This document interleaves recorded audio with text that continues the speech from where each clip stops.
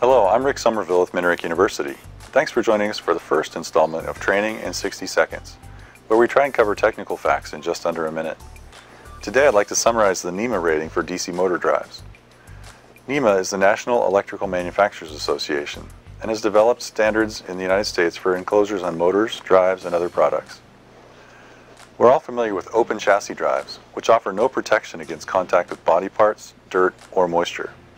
So the first line of defense is an enclosure known as a NEMA 1, rated for indoor use, contact with body parts, and falling dirt, but not for moisture.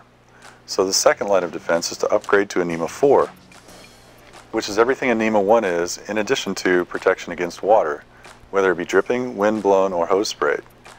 And the NEMA 4X designation simply adds corrosion resistance. Both the NEMA 4 and 4X are rated for indoor or outdoor use. Well, that does it for this training minute. Thanks for watching.